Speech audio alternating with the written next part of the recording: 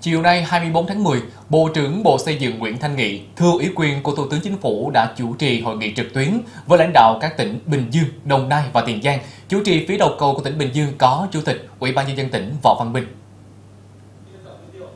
Tại buổi họp trực tuyến, đại diện ba tỉnh Bình Dương, Đồng Nai và Tiền Giang đã thông báo với Bộ trưởng Bộ Xây dựng về tình hình phát triển kinh tế xã hội trong 9 tháng đầu năm 2023.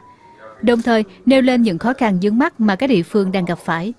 Về phía tỉnh Bình Dương nêu lên vấn đề chưa có hướng dẫn xác định nghĩa vụ tài chính của doanh nghiệp có vốn đầu tư nước ngoài nhận chuyển nhượng quyền sử dụng đất gắn với việc chuyển nhượng toàn bộ hoặc một phần dự án đầu tư.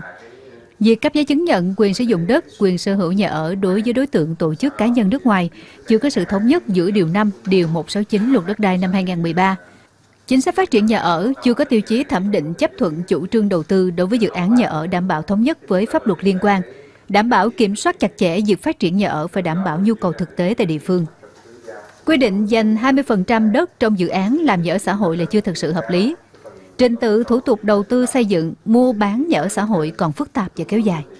Cái chính sách ưu đãi cho chủ đầu tư dự án nhà ở xã hội, nhà ở cho công nhân đã ban hành chưa đủ hấp dẫn, không thực chất, không thu hút, khuyến khích chủ đầu tư.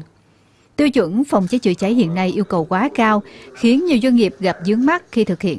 Các doanh nghiệp còn rất khó tiếp cận các chính sách ưu đãi lãi suất vay vốn tín dụng do thủ tục phức tạp, nhiều điều kiện ràng buộc hoặc tâm lý e ngại khi bị thanh tra sau khi thực hiện. Cần có thêm chính sách giãn nợ cho doanh nghiệp nhằm giúp doanh nghiệp phục hồi sản xuất kinh doanh để vượt qua giai đoạn khó khăn hiện nay.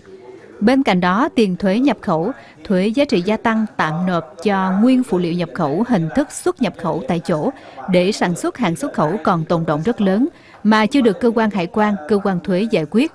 Điều này khiến doanh nghiệp khó khăn lại càng khó khăn hơn và cần xem xét miễn đóng thuế trước đối với hình thức xuất nhập khẩu tại chỗ.